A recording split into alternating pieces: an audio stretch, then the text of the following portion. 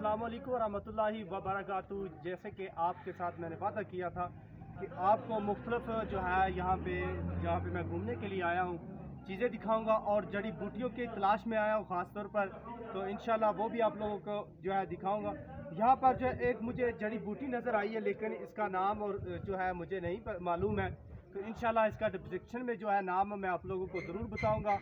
और ये आप लोग देख सकते हैं कि यह कितनी खूबसूरत बूटी है। जड़ी बूटी है जी, ये देखें। ये इसकी जो है शनाख्त धनिया की तरह है कि जिस तरह हम लोग धनिया जो है सालन वगैरह में जो है कुकिंग में यूज़ करते हैं। ये है जी तो ये देखें माशाल्लाह कितनी खूबसूरत है। तो यहाँ पर जो काफ़ी तादाद में जो है जड़ी बूटी है। तो ये देखें, ये भी जी है एक जड़ी बूटी और इसकी देखें ये कितनी शनाख्त है कि माशाल्लाह ये कितनी खूबसूरत है। और इसके अलावा ये जो है फूल वाली है। ये बूटी जो है फूल वाली है। जो कि नज़र आ रही है तो इसको जो हम लोग उखाड़ेंगे जी। इसके बारे में मैं सर्च करूँगा, ये क्या है, इसका नाम क्या है। और इसके अलावा आपको मैं दिखाता हूँ जी, ये देखें, ये छोटे से फूलों वाली बूटी है। ये देखें, ये ये वाला।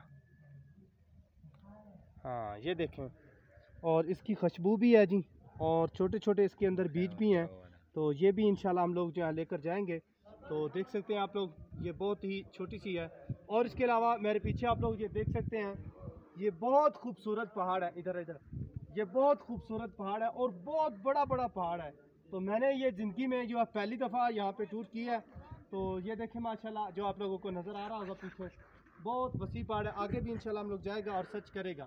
ब्रेक ब्रेक ब्रेक लगा तो ये देखें जी, पहाड़ी की खूबसूरती।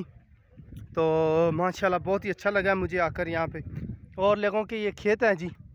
यहाँ पे जो लोगों ने जो ऐसे कट के बनाए हुए हैं जी। तो खूबसूरती पहाड़ की जो है, इससे ज़्यादा और होती है। और ये देखें, माशाल्लाह कि इतना खूबसूरत पहाड़ है जी, जो कि हमको नज़र आ रहा है। ये देखें, ऐसे बादल लग रहे हैं कि जैसे ये पहाड़ जो है, बादलों के दरमियान में मैं ऊपर जाने की कोशिश कर रहा हूँ ये देखें, और यहाँ पे एक और जड़ी बूटी मुझे नज़र आई है। तो ये जो है, ये मैदे के लिए बहुत ख़ास चीज़ है, इसकी ये लूंग है जो। कि ये देखें मैंने तराश ली है। तराशने के बाद जो है इसको मैं अब थोड़ा सा जैका इसका चखता हूँ जी। हम्म। ये बूटी जो है ना तो ये ख़ास तौर पर मैदे के लिए ये बहुत अहम चीज़ है। बहुत ये जिनका मैदा ख़राब रहता है या खुराक आज़म नहीं होती, उनके लिए ये बहुत मफीद बूटी है जी। इसकी शनाख्ती है कि इसके छोटे छोटे से जो पत्ते हैं तो ये है जी इसकी शनाख्त। और ऊपर चढ़ा हूँ मैं बहुत मुश्किल से। ये देखें कितनी लोकेशन इसकी प्यारी आ रही है।